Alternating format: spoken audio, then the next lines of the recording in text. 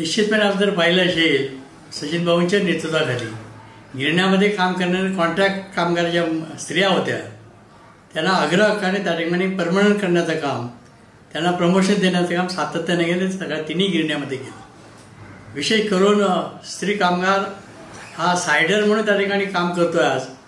आणि निश्चितपणे जे पुरुषाला जमणार जमणार नाही अशा पद्धतीने चांगल्या पद्धतीने त्या ठिकाणी ते काम करण्याचा प्रयत्न करतात. त्याचा त्यांना मोबदला अधिक प्रमाणात मिळतो आहे ही स्थिती आहे. आणि म्हणून आम्ही सतत बोलतो की सचिन भाऊचं नेतृत्व हे अष्टपैलू नेतृत्व आहे. संघामध्ये आल्यानंतर जी परिस्थिती होती ती परिस्थिती बदलण्याचं काम.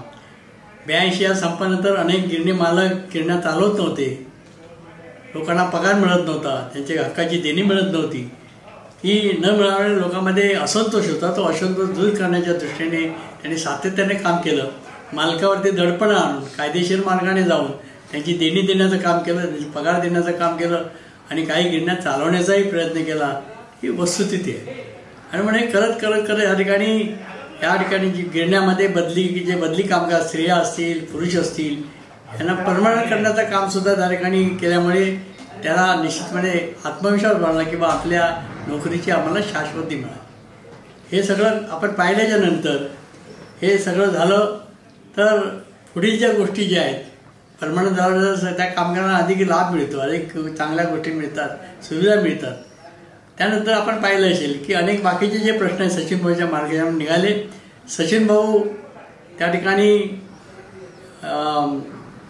संघामध्ये काम करत असताना मोठ्या प्रमाणात गिरणी कामगाराच्या घराचा जो प्रश्न आहे तो त्यांनी लावून धरला.